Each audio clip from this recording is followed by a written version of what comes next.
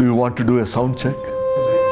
One, two. So my name is Ravi Ravichandran, the director of the Department of Aerospace at Caltech. So my role at Yachay Tech, I am the vice chairman of the Commission Gestora. You see something and you want to improve that.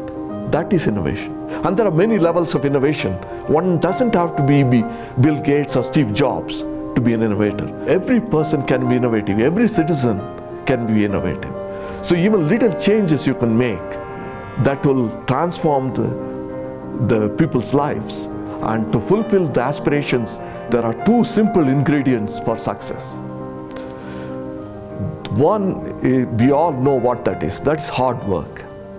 That's the basis of all, all success stories in any, any field, in any endeavor. But the second one is more elusive. And I lump that in what I call confidence. Because just hard work doesn't yield results. In science or engineering, that's not enough. Confidence is, you know, perhaps the most important ingredient of success in life. So this is what we want to change the mindset of people. They will start propagating this message. We want to give them the confidence that they can do things, they can do great things.